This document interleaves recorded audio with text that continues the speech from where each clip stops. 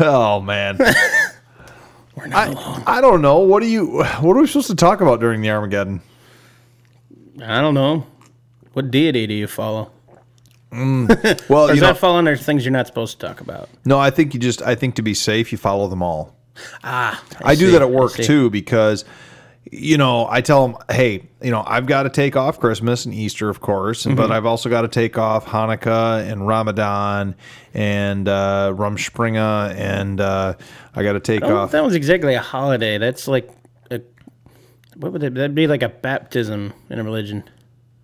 Well, still. Yeah, yeah. they don't know that.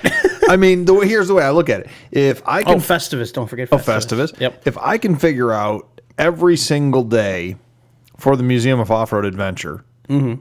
is something that happened in the history of Something. you know off-road vehicles, Mm-hmm. then surely, surely I can figure out that you know. Makes sense. Yeah. Maximize your time usage. You know, I just got an idea. Maybe not an entire episode, but I got an idea. Something we could talk about here in a Okay. second.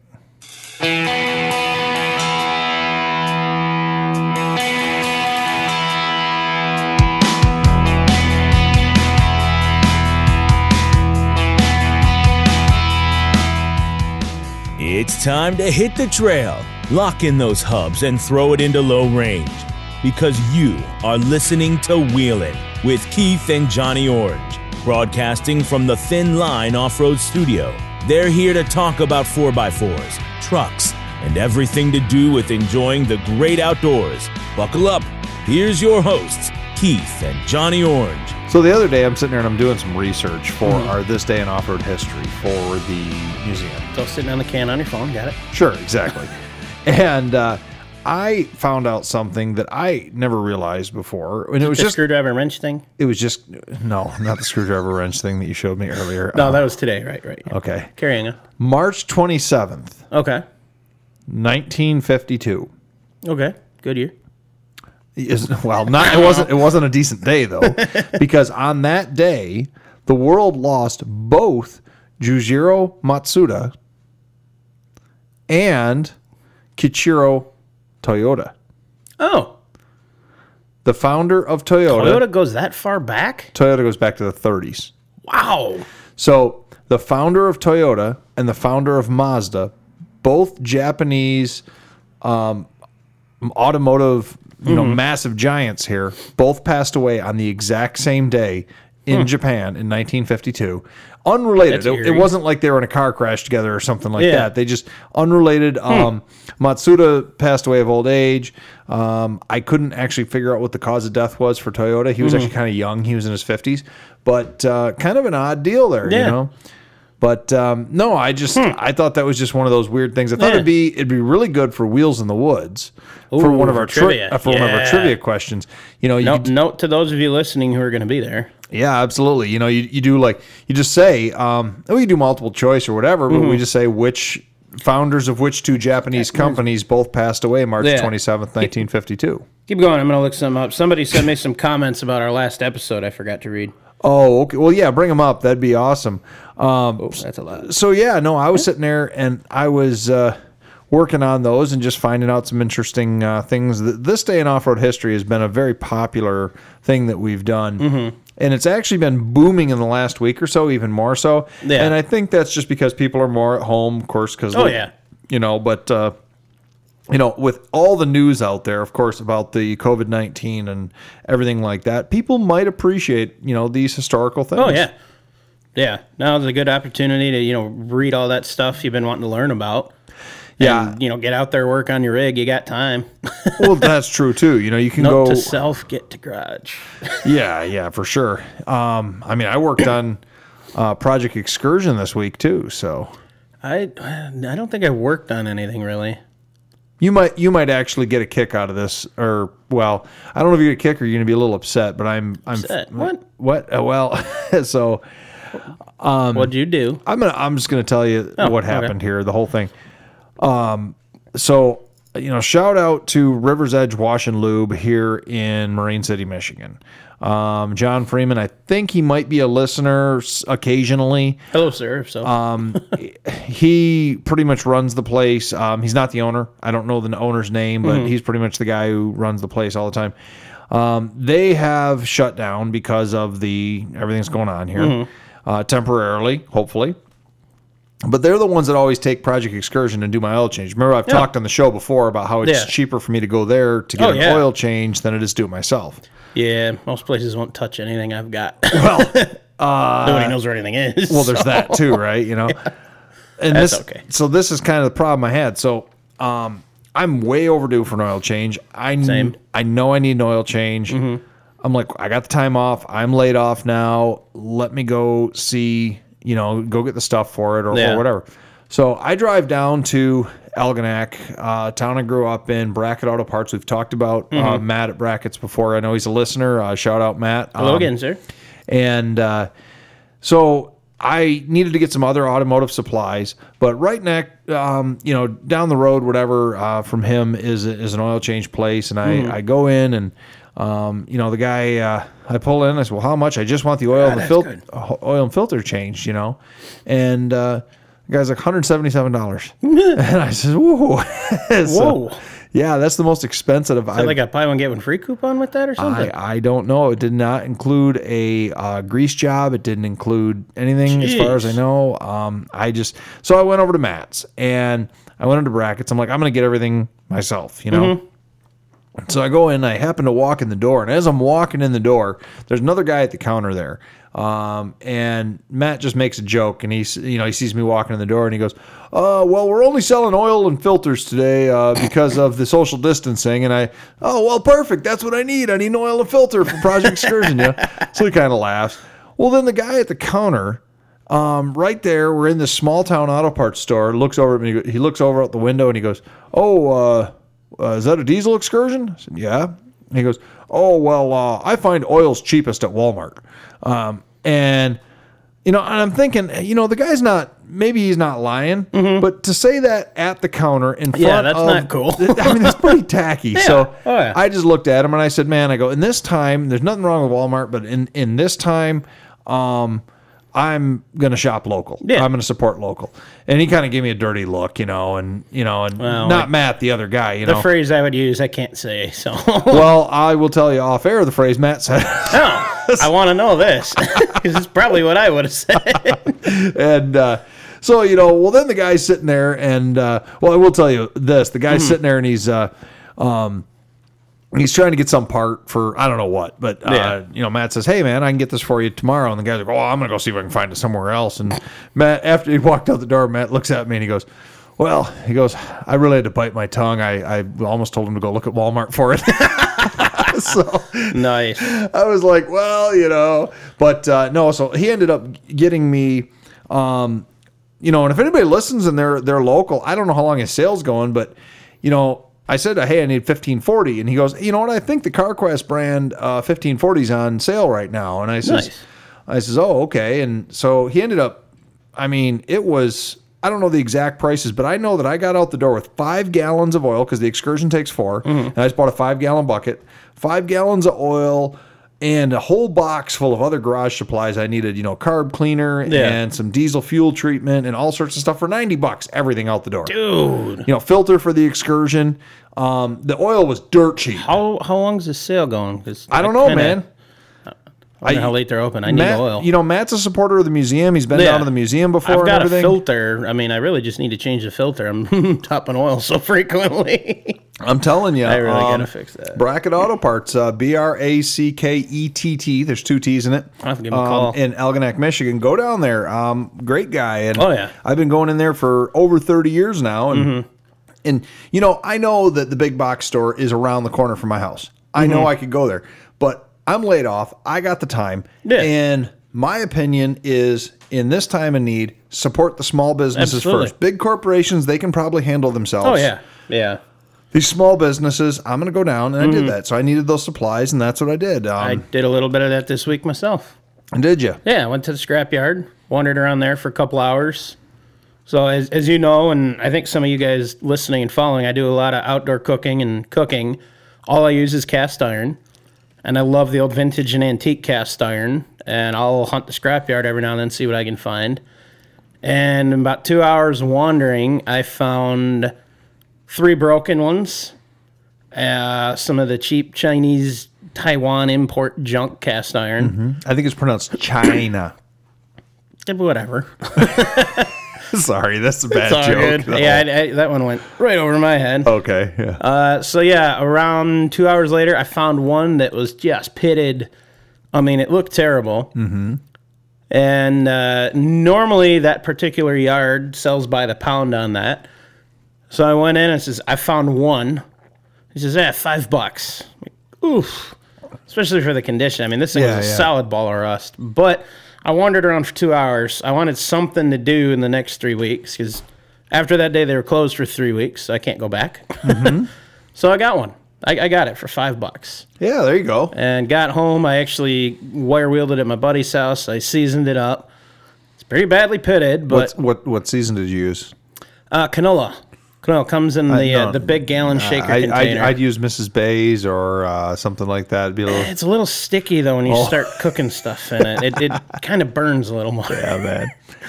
No, I so I I got that. I thought, you know, I've been going through all my old pans. This one actually dated uh, its early lodge to about the 40s. Lodge was around that long? Lodge came around the the th- 20s or 30s, I believe. Oh, no kidding. And the guy who actually founded it started at another company called Blacklock. Yeah. And that was the premier, you know, 1800s, early 1900s cast iron was Blacklock. Yeah. And to date, there are no known examples of actually marked Blacklock, as far as I'm understanding it.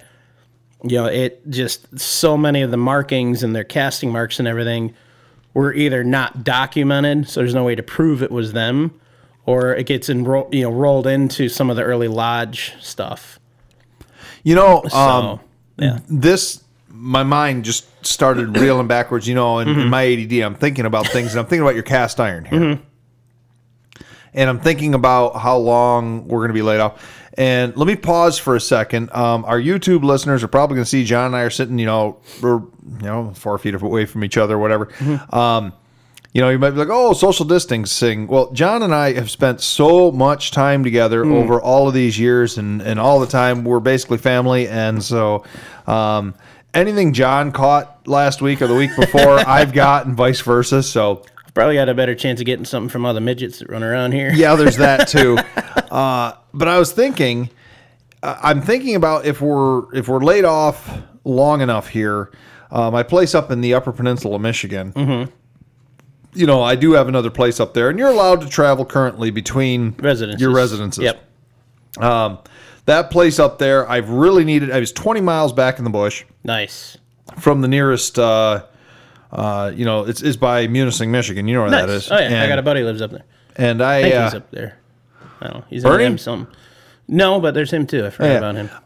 Um, so we uh, were way back in the middle of nowhere. Obviously, that's perfect social distancing unless you Oh, get yeah. coughed on by a deer or something. and You're getting TB then. I told Stephanie that earlier today. I told her Nice. that. Uh, but uh, anyways, I got thinking about it. Underneath my counter there Mm-hmm. at my my cabin up there, I have got a bunch of old cast iron stuff, but it's all Nice. rusty and it's some of it's like it's not seasoned or anything like that. You know, maybe you should come up and check it out. See if there's anything you want for your collection Mm-hmm. for or this. mess with it. You got a Uh, waffle maker? I'll buy it on site. I want uh, one of those. I so think I do. I mean, obviously, I don't want to get rid of all of it. I understand. Maybe you can help with some of it. yeah. Um, we could take a trip up there and just check I'm on the cabin for for a couple days or something. Yeah, I'm for it. I've never. I don't think I've ever. No, I know I've never been to your place up there. No. No, I don't think I've even been. To, I've been through Munising once Oh, or twice. I think. All right. If I was, it was a long time ago though. Well, you know, um, rambling on here a little bit, but uh, you know, we're just kind of talking about what people have been up to. You've been up to your Yeah. cast iron. I'm kind of getting Project Excursion. Actually, I dug all the rest of my cast iron out too that I've been hiding all over the place. Found one of the ones in my Jeep. Same thing dates back to the 30s, and I've just had that in my Jeep for cooking, you know, bonfires and stuff for years. Nice. So I've got uh, I have one pan in my basement that came from my dad's mom. So my grandma on his side, I never met her, but I've got one of her cast iron pans. Okay. So yeah, and then I cook with all the others. Cool. so Why don't we take a quick break, buddy? And then uh, when we come back, I think we got some more 4x4 stuff to talk good. about. Uh, you mean get to? For Get to, yeah, probably get to You it. talk the excursion. Sure. We got that. See you in a minute.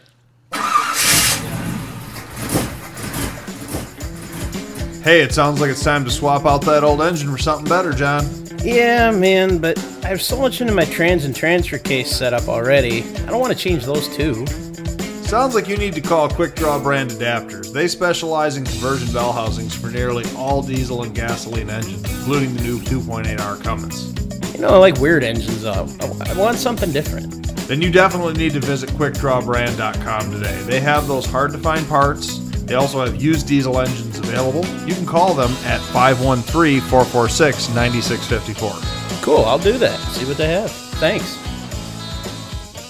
So in this this time of everything shutting down and you know people staying at home, uh, unfortunately, at least in the state of Michigan, and of course probably nationwide, museums are shutting down Yeah. temporarily.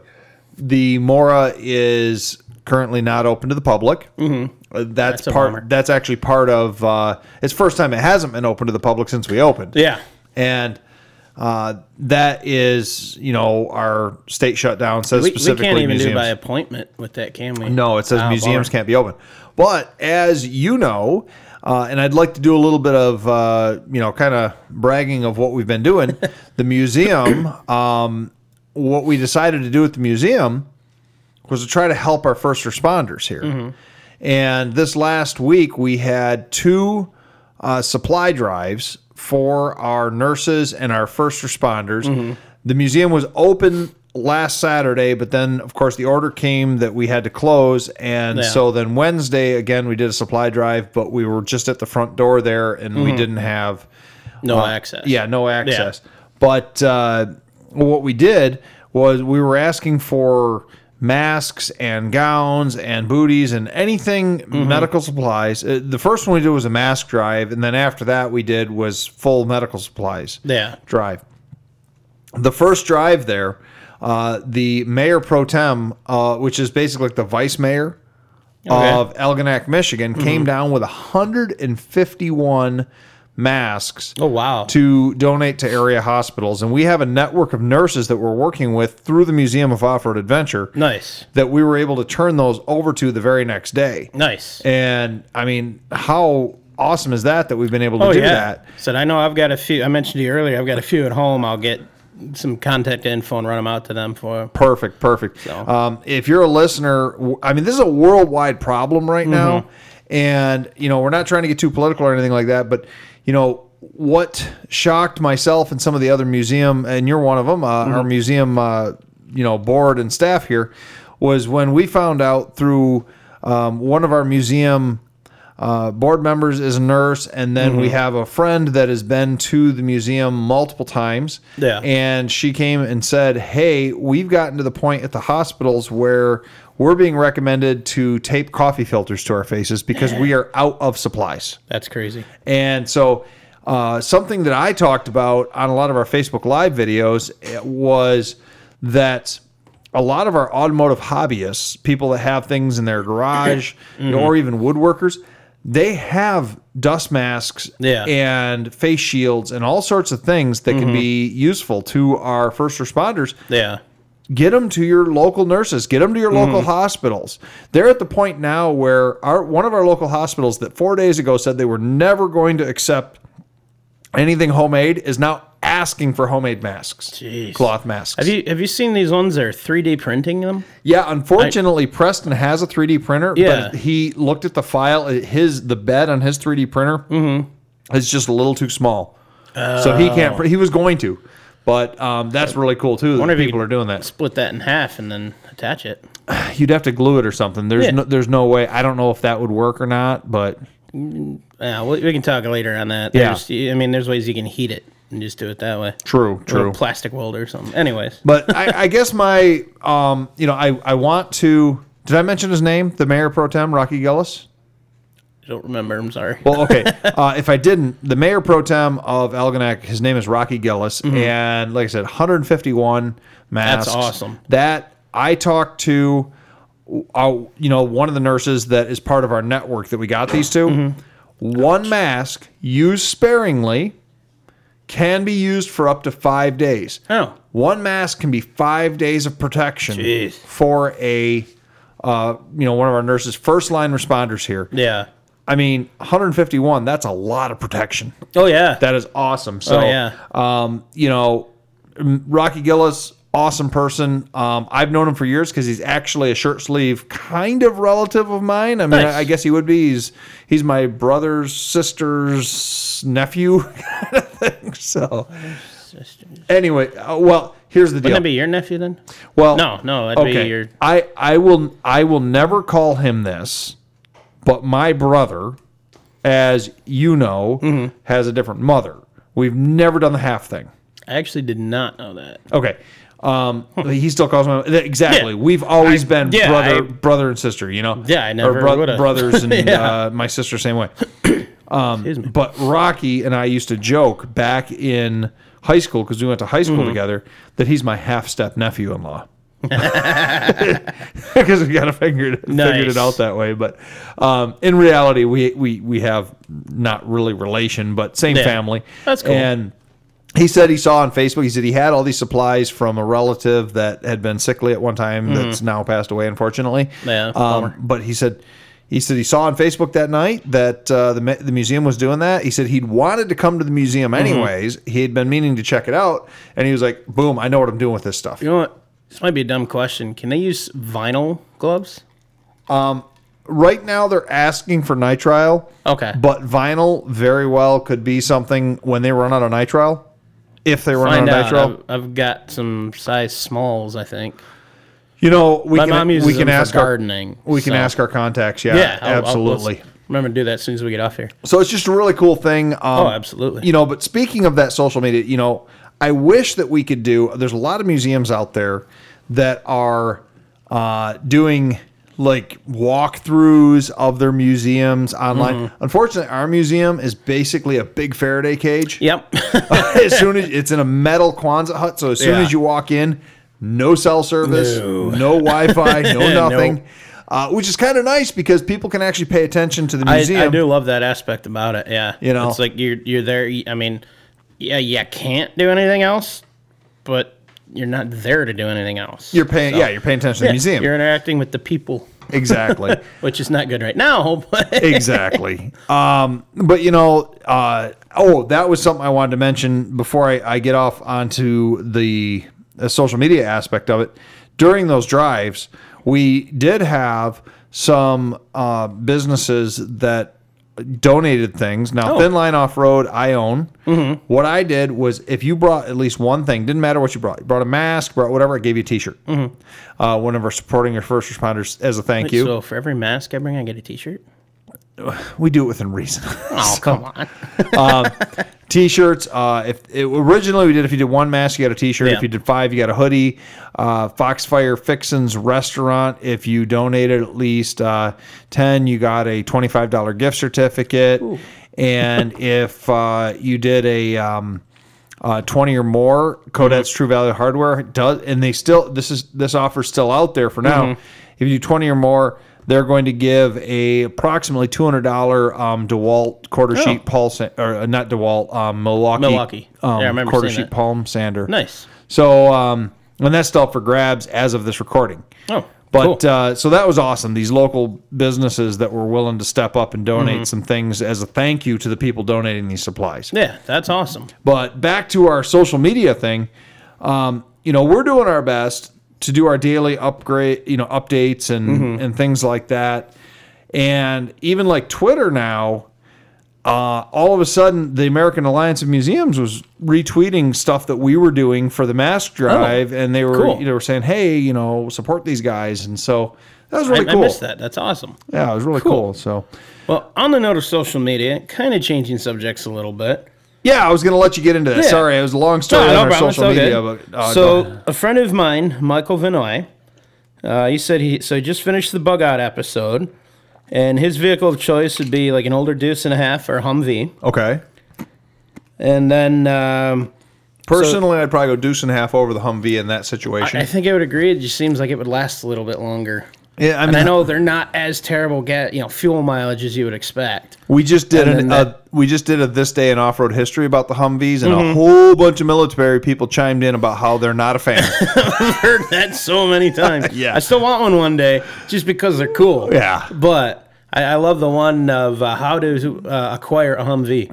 Open door, flip this switch, wait till light goes off, flip it. Now you know in a Humvee. It's Pretty much any military vehicle, buddy. I know, I love it. But anyways, Michael Vinoy, what did he say? Yep, uh, finish the episode. So we won't go into this whole thing for obvious reasons. Um, so his question. Oh, was he saying how sexy I am? No, no, no, that uh, no. All right. So his idea was about ideal bug out guns. But uh, That- guns. that's an interesting one. Yeah. So he, he's you know keep in mind multi-use parts repair availability, caliber availability. sure, sure. And then he he had a few suggestions here. So you know thinking like a three gun or four gun sort of combination. I don't know if we want to get into that whole Yeah, thing yeah. right No, now. Be go ahead. What- what the heck? What was the all right. So I'll read you his. Oop, let me go back into it here. Oh, here. Oh, let me guess. Let me guess. Let me guess. Okay. I haven't. I have not. I swear, I've not No, read no. this. Um, I would say something nine mil, something forty five ACP. Uh, there's not a 45 on this. There's not a list. forty five. Nope, Maybe a what- Winchester thirty thirty. Nope. Ooh, wow! I Actually, just. I don't know the caliber on that one, so that could be. I mean, you're not stalking like the two two three for the AR-15s and stuff, are you?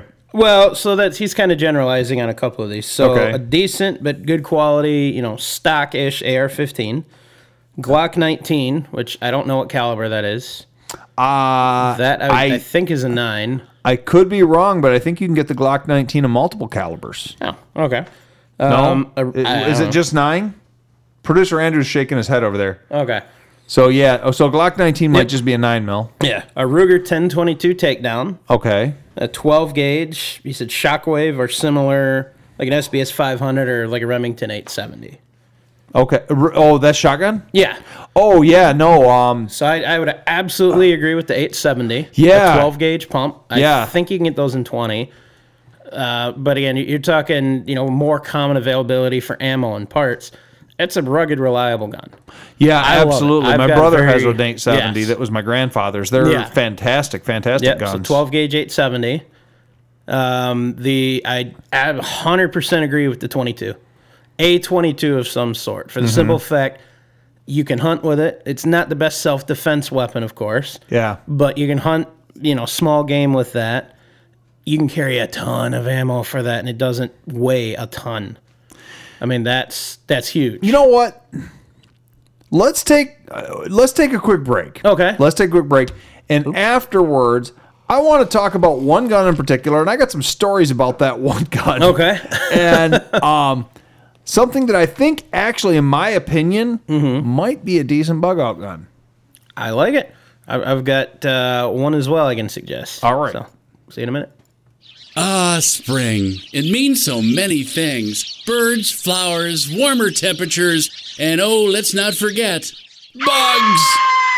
Don't let pesky bugs take over your home. Call ABC Home and Commercial Services. They have the solution for your spiders, wasps, box elder bugs, Asian lady beetles, cluster flies, and more. ABC Home and Commercial Services, the best in pests. Call 810 794 5678. That, that was quick. What was quick? Quick break. Oh, did you not have time to do what you needed to do? No, man, I had to hit the can. I was gonna be a few minutes. Oh, what? Do you want to take another break? No, it's okay. Um, I'm kidding. I did not expect to get on guns or rifles or anything like that in this episode. But with that being said, uh, one that I want to throw out there that I already said. Now, this is my own opinion here. I think the old cowboy style Winchester 94 wi- uh, 3030 Yep. rifle, Amazing gun. it, it, they're, well, I haven't had the best of luck, but Take it off your hands if you don't want it. no, no, no. um, I think that that's a pretty good bug out gun. And here's Mm-hmm. a couple reasons that I have for this. One, it's a super simple, very reliable, very durable gun. Yes. Mm-hmm. You can throw it in the dirt, you can whatever with it, and it's probably still going to fire. It's extremely lightweight for a rifle. Yeah. You pick it up, and I think they're only about, I don't know, two and a half feet long. They're not very long. They're maybe 28 inches. I, Okay. I don't know. Um, that'd be That'd be really short. yeah, I don't know. I, I can measure mine. I, I don't know. I Mm-hmm. but They're not very long. They're very lightweight. You can carry them all day under your hand if you're walking through the brush up Yeah. in the you know you're hunting. And I'm not a big hunter, but you know I've got one and walk through. In, in the apocalypse, everyone is. Yeah, well, there's that. Uh, the round for them, though, from what I understand, and maybe you can correct me because you probably know a little bit more about ballistics and rounds. But from what I understand, with the 30-30, um, that uh, that particular round, it's got a lot of powder behind it, a lot of power, but you can use it to knock down something, say like a deer. Oh yeah. But that same round, believe it or not, I've heard people say that you can hunt small game with it. Um, it'll because it the velocity and the size of the smaller bullet that's, that it has Mm-hmm. ca- will punch a hole through small game without expanding rapidly, and you see that. you can actually hunt. I've talked to people that have hunted Yeah. partridge and uh, squirrel and stuff with 30-30s, and they say they really don't do a lot of damage because it doesn't have Yeah, time to expand. through. It passes through. your, your only issue there, one, expense of it for what you're getting out of it. I'll give you that. The rounds Again, are not cheap. SHTF, you know, scenario is a different Sure, sure. The other, it's still a rifle round. It's still got a lot of power behind it, so you have to be more careful of your, you know, what's beyond your target. A deer, chances, you know, here to that wall of hitting a deer that close is unlikely. Okay. You know, small game, you're going to have to be a lot closer. So, you know, the wasted energy, so to speak, is the round's going to keep going. Okay. So that'd be the only disadvantage to it. You know, again, SHTF scenario, you, can- you can make some exceptions. Yeah. But no, they're, I mean they're phenomenal rifles. Well, so here's I told you that I haven't had the best luck, and there's nothing wrong with my Winchester 3030. I do have one of the ones that was made in the 70s after Winchester was taken over by the Japanese manufacturer. It was it's not an American gun anymore. Mm-hmm. Um, I didn't know that when I my grandfather gave it to me years ago. He had bought it from his brother, one of those things. Yeah. And uh, but anyways, beautiful gun, beautiful Oh, yeah. condition. And uh, it was the first deer that I ever shot at and missed was with that.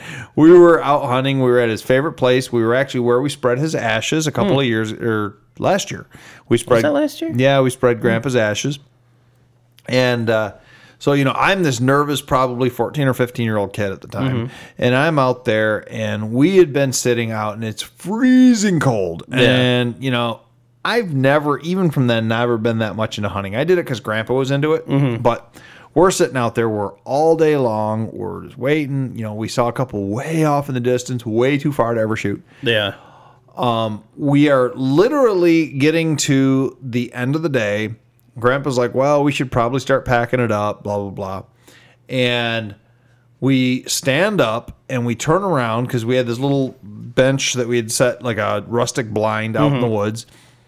We stand up and we turn around and there is this little button buck, not button buck, um, spike. Uh, Okay. He's got these little like maybe, you know, six inch spikes coming out of the top of his head. I don't Yeah. even think there was any forks on him. There, there he might have been a three or four point tops, not a big buck, and he is going right along where my grandpa had put some of that doe estrus, you know, the doe urine. And He's going right along this trail where my grandpa had done. He's got his nose right to the ground like a dog. Nice. Just, you know, just going at it. And so my grandpa's like, "Oh, Keith, go ahead." And, you know, I says, "All right." So you know, I get my, and I'm standing there, and I'm probably shaking. And I just, you know, I boom, and that thing just sh- runs off. And you know, my grandpa thought maybe I hit it, but we mm-hmm. never found a trace of anything. And Yeah. so, but so years later, now I I probably only go hunting maybe every three to four years. Not a big mm-hmm. avid hunter, like I said. Um, years later, my daughter or my ex-wife is pregnant with my daughter. Mm-hmm. I was planning on hunting that year. Uh, my ex-wife says to me um, when she was my wife, obviously, and she says, "I don't really want you going all the UP. There's no cell phone signal. Blah blah blah." Well, a good buddy of mine uh, called me up and he said, "Hey," he says, "I've got an open spot um, about three hours north of here." He says, "Why don't you come on up and hunt with us?" And so I asked her, and she's like, "Yeah, that's fine." She goes, "You got cell phone reception there. If something happens, you can be down, you know, three hours. You can Yeah. drop everything, go." I said, "Okay, cool." So I drive up, and uh, opening morning, we go out, um, sitting there, calm, nice day. Doe comes walking through right, right about ten o'clock or so. We had actually agreed.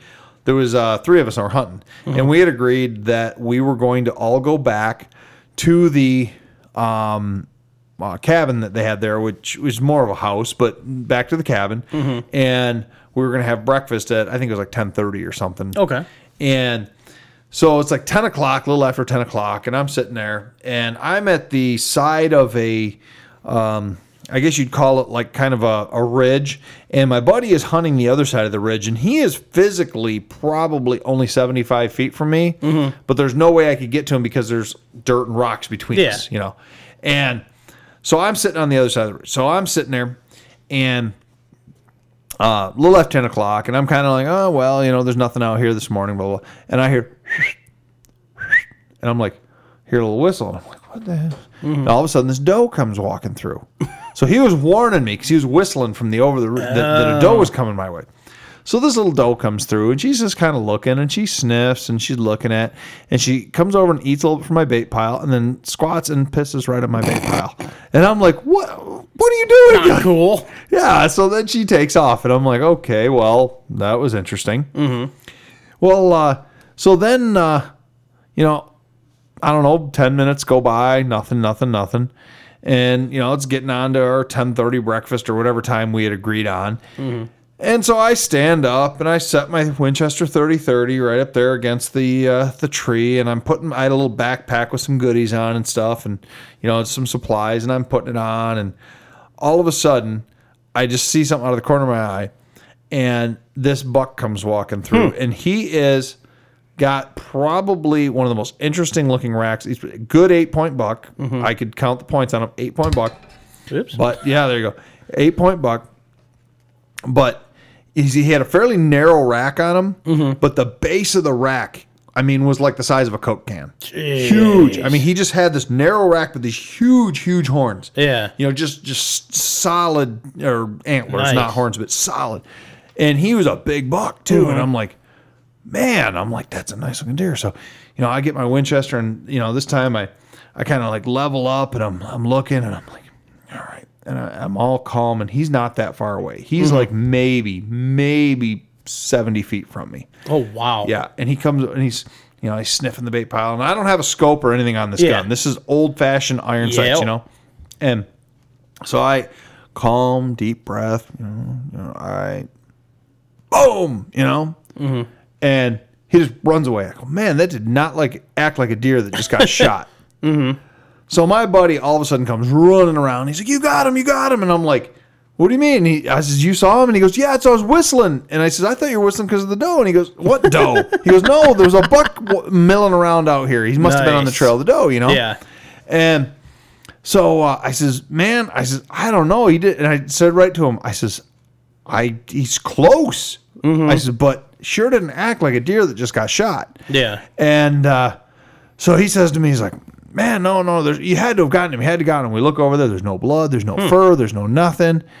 And so we start walking around all afternoon in the immediate area. And we do not find a trace of anything. Bummer. So we come walking back, and he is, him and his dad, uh, the other two guys I was hunting with, they're kind of ribbing me. They're like, oh, buck fever and blah, blah, blah, and this and that, you know, and, uh, you know, you jumped or whatever. I'm like, man, I am not that bad of a shot. I'm like, I am, I'm not any sharpshooter by any means, but I'm like, I'm not that bad of a shot. And we come back, and uh, they're like, well, where was he? I'm like, he's right here. I says, he's right by the edge of the bait pile, blah, blah. So I found an old rusty coffee can and I set it on a stick and I put it right there. And, and I said, watch this. I said, I can shoot that, no problem. So I go back to my blind and I go, boom, and nothing. and my buddy goes, huh, do that again. Boom. Oh, uh, I'm pretty sure that that hit the dirt like 10 feet before the stick. and I go, no. And he goes, aim like five feet high. And I'm like, what? He's, yeah, aim like five feet high. So I aim up and I hit, I boom. And I end up shooting the base of the stick. and he's like, dude, what's going on? So he comes over and he's like, he's like, there's something screwed up. You bent your barrel or something. I'm like, there's no way I bent the barrel on this mm-hmm. thing, you know? And he's looking at it and he's like, he goes, hey, where's your sight block? and I says, what? He goes, you know, little block. It's a little pair of little stairs on the spring-loaded sight in the back. Yeah. It's just missing. I had knocked it on something while walking out there and it's just missing. So I shot into the ground. That sucks. Yeah. I'll- or in or in the air, or I don't know, whatever it would have been. But yeah, No, no, no, the ground. It was the ground. Yeah. Definitely the ground. definitely ground. But Oh, my. Well, you finished. I gotta. no, that was it. I just I so my luck with that Winchester's not been very good over the years. So I, I have my grandpa's 30 aught six hunting rifle. A good good rifle, And good I, rifle. At, and I, I would suggest I would have that at the top of my list, rifle wise. okay, Um, just yeah, the ammo's a little heavier, but you've got distance, you've got accuracy. If you need to distance for self defense, you've got it. You can hunt damn near anything with it. But those rounds are pretty much available anywhere in Michigan at least. that's the biggest thing, ammo availability. Yeah. And so this this like I said, it was my grandpa's rifle, and this there's some relevance to this story. So he was out west hunting. I think it was Wyoming. okay, and I don't know if anybody else in the family even knows this story. You know, I always talked to him and learned about why he had these guns or certain things that he had. And he used he was a doctor. He used to go hunting with these doctors, usually once a year, every other year out west. oh okay, same same grandpa that owned the old Jeep. Gotcha. Yep, yep. I was getting to that. and he was telling me this story. They're out there one day, and he's, you know, he's a doctor. Mm-hmm. If it's a long distance shot, so now it might not be as acceptable to do this, but if it's that distance of a shot, you have a large margin of error. So his thing is, you know, aim for the head. If you miss, you're not going to hurt it. Okay. That was kind of his reasoning back then. Yeah, okay, okay. So- that's how, that my grandpa used to do too. Yeah. Yeah, so he, I don't remember the distance he said the gun was sighted in for, but it was a 200 yard shot. And he's watching this thing. So he, he lines up and he takes the shot. And the deer puts his head back down to feed and then it fell over. and when he got there, he couldn't find the hit. But the deer's still there. Yeah, the deer was there. It was dead. And he But walked. there's no hole in the deer. Oh, he had to study it, but he found it. Okay. And for anybody listening, this might be a little more detail than most people would care to hear. So, forewarning.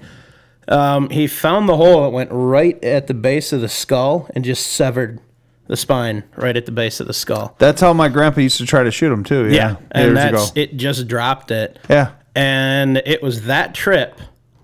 Mind, mind you, this God, that had to be. Well, it was whenever JFK was around, so seventies. Uh, 60s? 60s. He 60s. was assassinated, I think, in 63, if I remember So right. this would have been Early 60s. sixty-three or earlier. Yeah. So think about, you know, everybody now, high powered rifles long distances. All these guys have these high powered rifles at the airport and the plane. They all flew planes that flew out there. Well, JFK happened to land in that same airport.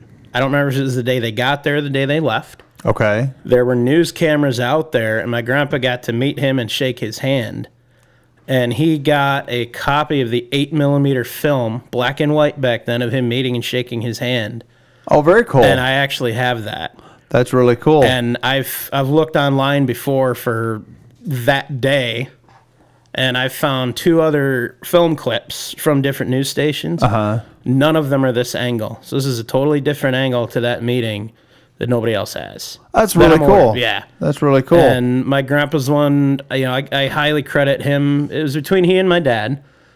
But my first Jeep ride was with my grandpa, 86 Grand Wagoneer. Mm-hmm. And, you know, that kind of got me down the path to where I am today in terms of Jeeps. You know, a large part of love of the outdoors. He had the farm that's across the river from my house. So we were always there every weekend in the summer. You know, shot my first gun over there, a little lever action 22 nice.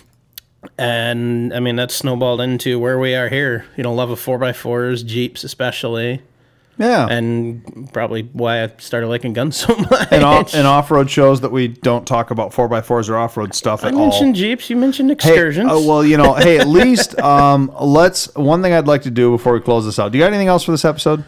no, I mean that, that's we could go all day. What happened to the cup this, that I gave you? It's right here. Uh, you- what- and now you're drinking out of a kitty cup. What's? That's water and it's orange. Oh, all right. Um, I would like to do something. This is episode 50. I never thought we'd get this far. Uh, are we going to get uh, anybody else to say anything? I think maybe we have him do the closing. It's written down. You can read it. What's up, y'all? Oh, come on, say it into the mic at least. Let's be real quiet and let him do it again.